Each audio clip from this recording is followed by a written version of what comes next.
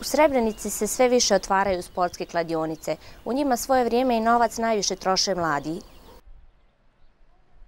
U strogom centru Srebrenice u krugu od samo nekoliko stotina metara trenutno veoma uspješno radi čak šest sportskih kladionica. U gradu koji nema pekaru, a do prije mjesec dana nije imao ni mesaru, ovo je zabrinjavajući fenomen.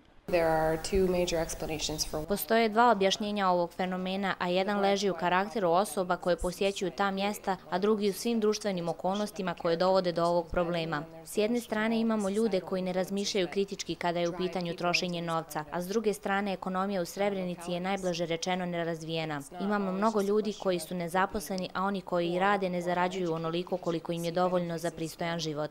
Prema zvaničnim podacima, prosječna plata u našoj zemlji iznosi 834 konvertibilne marke, a prosječna potrošačka korpa za četvoročlanu porodicu iznosi 1858 konvertibilnih maraka.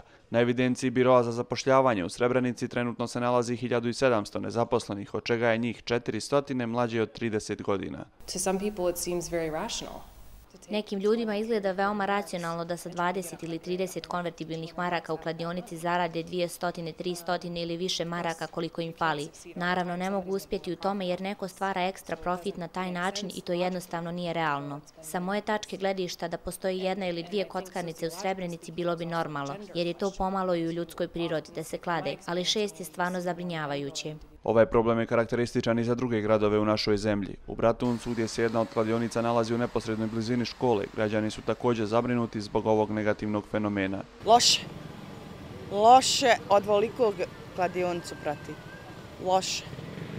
Pa neimaština je onda lako misleno, sto mladine misle da će na taj način doći brže do novca umjesto da rade i to je to. Glavni razlog je što ljudi nemaju novca a misle da preko kladionica mogu da zarade novac. A u stvari tu još niko nije dobio pare. Klađenje spada u poremećaje kontrole impulsa gdje su nagoni ka kockanju drastično uvećani, dok kočnice da se odoli praktično ne postoje.